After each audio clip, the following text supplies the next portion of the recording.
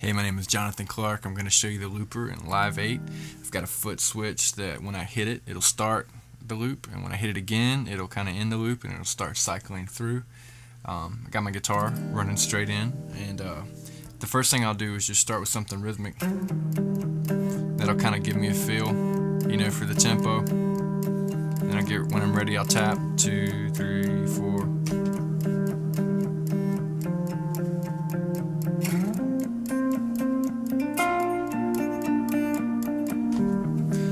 There's my loop there. So right now it's in overdub mode. What I can do is uh, I can start layering things on there, like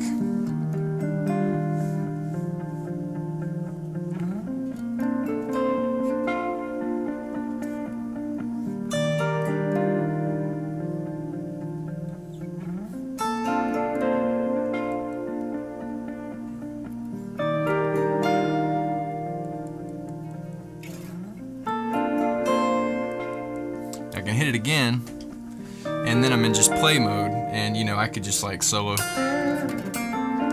you know, and, and nothing's gonna happen. I'm also free to just not play anything and do whatever, you know. Um, it's really, really cool. Now, uh, one of the cool things about this is now that I have it going, I can turn on the metronome, and it'll be in time.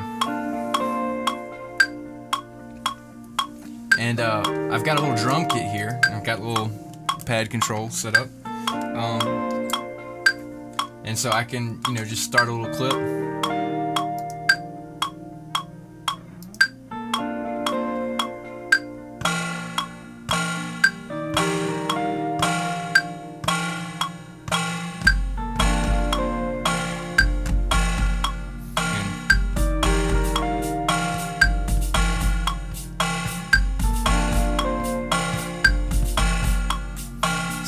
Up a metronome. You know, now that I got a beat, I can also adjust, you know, all the levels of all those drums or whatever.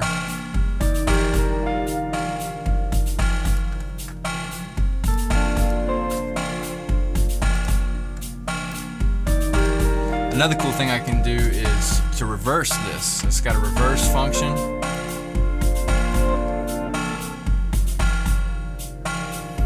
And uh, in my chain here, I've got a little delay, so I can turn that up. And this is before the looper. So what happens if I do it all the way wet?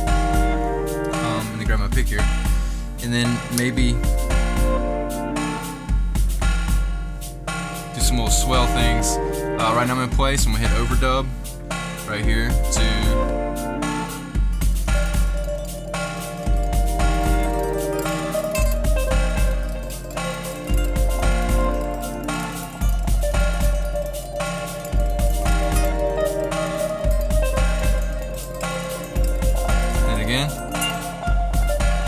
So you notice we're hearing that in normal time.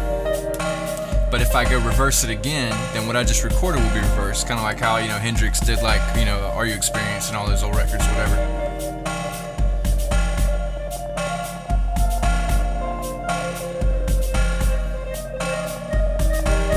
It's pretty rad, pretty rad. Uh, I can also drag this whole clip out of Ableton, out of the looper. I can put it in another track, and then I can pitch that down. I mean, this gets like endless pretty quick, but this is just something real quick. It's pretty rad. Kind of add some low end to it, you know. Just it's just an octave below. It's the same loop. If I were to solo it.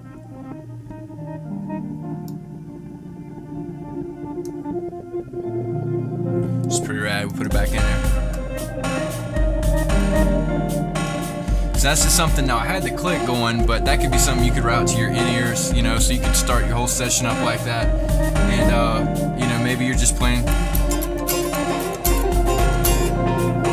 It's a little delay on there on the guitar still. You could use effects. I can take that off. You know, I'm still in play mode.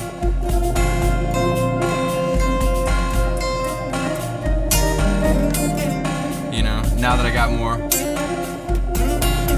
more stuff to kind of build. Start solo maybe.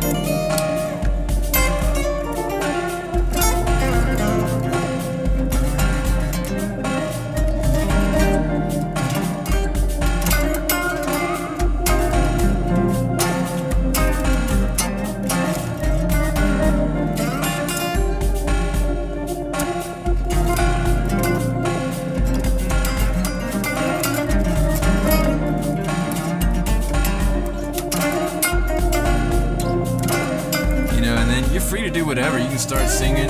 Stolen my heart. Yeah, you've stolen my heart. Get your jam going. You've stolen my heart. Yes, you have. You've stolen my heart. So anyway, I hope you enjoy. I hope you can do something cool with your band, with your worship team, coffee shop, whatever. Um, Ableton Live, you can do it with a laptop and uh, just a little MIDI controller. It'd be great.